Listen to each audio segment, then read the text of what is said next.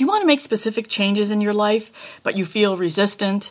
Or perhaps you've made the changes and in two weeks or so you go back to the same old habits, or maybe even the same day, you just give up on the change. Well, this indicates just one of several really specific fears that we're going to clear out in this audio. This is Colleen Flanagan, the Emotions Whisperer, and I've made some tremendous changes in my life and with my clients, and we can do the same just by this audio. So sit back and uh, hopefully have something to write with. You can take some notes on this and listen to it as long as you want or whenever you want, whenever you feel the need for some strength to make those changes. So, the first a fear that you may have, which most of us have, is a fear of failure. We've tried to make change in the past, and uh, most of us, sorry to say, uh, went back to the same old way that was more comfortable. So that might be something that you have. You know, you're gonna you feel like you're going to fail anyway. So what's the use? The second fear could be a fear of not feeling safe, and that fear is related to uh, deprivation uh, or fear of loss, which is deprivation, and uh, that things will change and you won't feel good anymore about your life. The third fear is fear that the bad times will never end, and that's quite often linked to any time you've been on a diet. A lot of people have uh, fears that the bad times will never end, or uh, exercise program where you hurt so much the next day you had all that lactic acid in your muscles causing the pain. Anytime that pain is associated with change, then our subconscious mind has made that link that change equals pain, and it's really difficult to break that link at times, but you can do it via this audio. Then the third or the fourth uh, fear is fears of rejection and abandonment. And that fear has to do with when you make change, you're afraid that maybe the people you were hanging out with, say you're going to stop drinking alcohol, stop going to happy hour or something, but you're going to miss all those people that you uh, used to hang out with or maybe your family and friends have gotten together for some things that you don't want to do anymore, and you're afraid of losing uh, their love and their friendship and their support. The last fear is fear that there's consequences to successfully making the change. And you probably think that's crazy, but it's really there in a lot of us as well.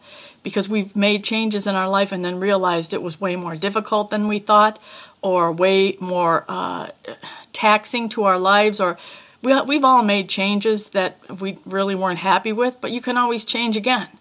So let's do some clearing right now and, and just get rid of some of these uh, fears. And if you any have come up that I've uh, talked about, please uh, write them down and clear them out. Uh, I'm just going to do a general clearing now.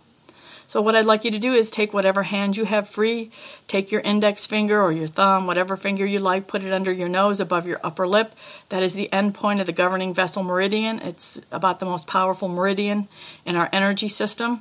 And just by gently tapping or massaging under your nose above your upper lip, you will be able to break up all the, shall we say, trapped energy, the dark, dense energies, the fear based energies, as you talk out loud or to yourself about what it is that uh, you feel is blocking your change. Permanent change, healthy change, lasting change. It's what we all want.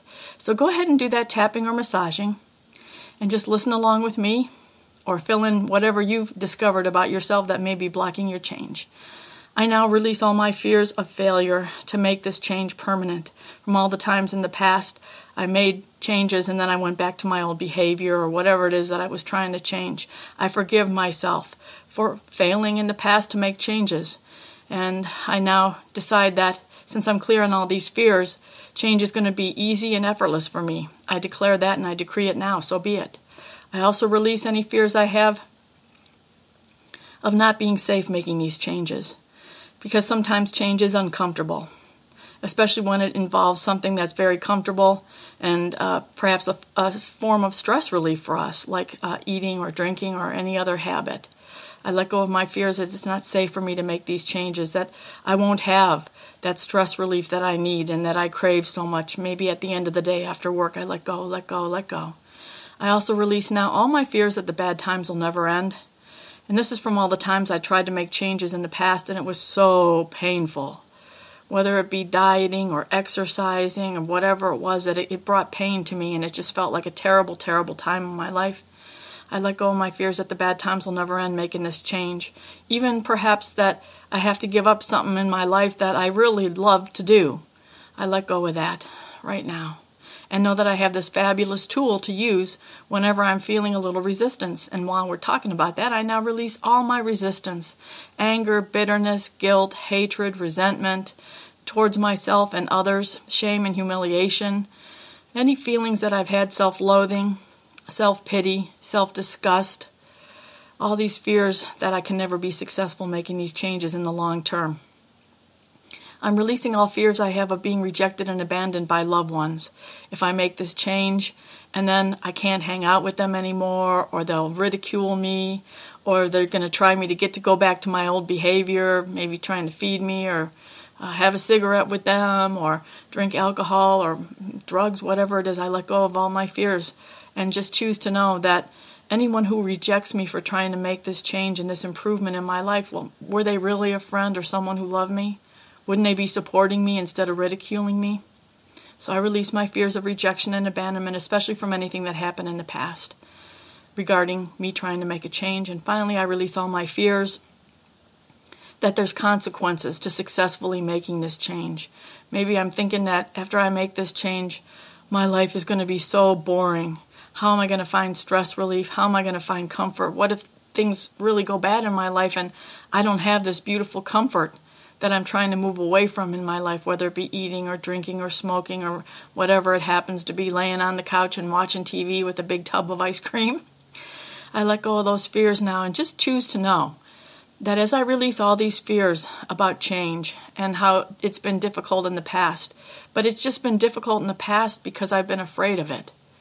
So as I clear out and allow these, these fears just to melt from my body, just to dissolve from my energy, I feel safe to make this change and to just accept now. I release all resistance to accepting that everything changes every moment in our bodies, in our lives, on earth. So resistance is futile against change. I might as well just accept it as it is. So be it. So take a nice deep breath in and out. And feel free to use this audio whenever you need it. And I want to thank you so much for listening today. I wish you tremendous success in all the changes you make. If you need any more support tools, please go to my website, which is emorescue.com, E M O R E S C U E.com. And this is Colleen Flanagan, the Emotions Whisperer, wishing you the most amazing, tremendous life. And always remember that life is responding to you and make it respond to you. Empower yourself, step into your power, live your life, love your life, and make all those changes that you want right now. You can do it. You got the power. Thank you.